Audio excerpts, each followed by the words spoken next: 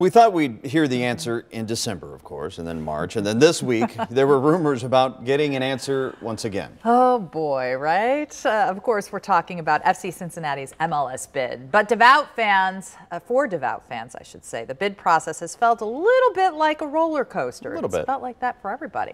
Nine on your sides, Breanna Molloy spoke to one Cincinnati sports fan whose next big project is really on the line. Yeah, I like them win or lose. Kenny Simpson is a super fan, Well, my father, he's a huge fan. He's a die-hard fan. and the proof is parked along his curb. This is his Reds van, We ain't finished with that one yet. his Bearcats van, Yeah, we just bought lights and we just kept getting lights and kept getting lights. his Bengals van, We got a couple tickets because the lights was too bright in the rim.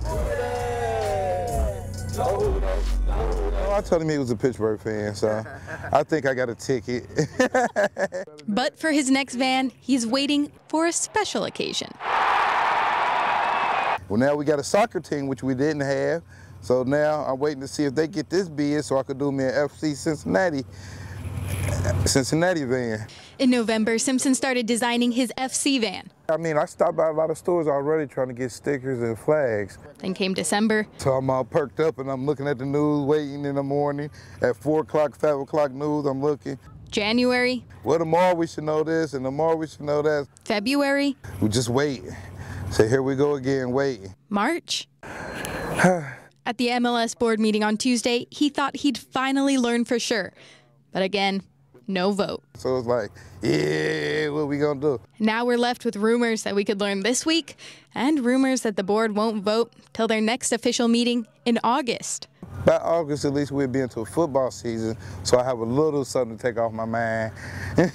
But either way, this fan will be there. I'm on their I'm on their side no matter what. And either way, he says his van will be there too. If we get the big bid, then I'm gonna go big. If we get to the regular, so I'm gonna just get me a, a regular van to start off slow and build it up.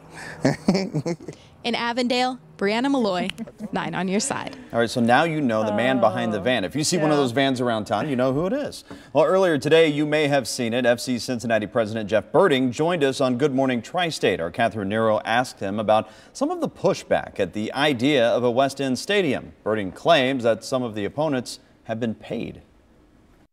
There's about 50 people that show up at every meeting.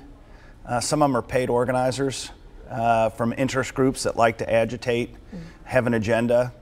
Uh, we're confident that the West End folks, the rank and file, the homeowners, the, the people that live there, uh, that they support us. Now, Berding also claims they have support from about 75% of the West End residents they have spoken with during the process.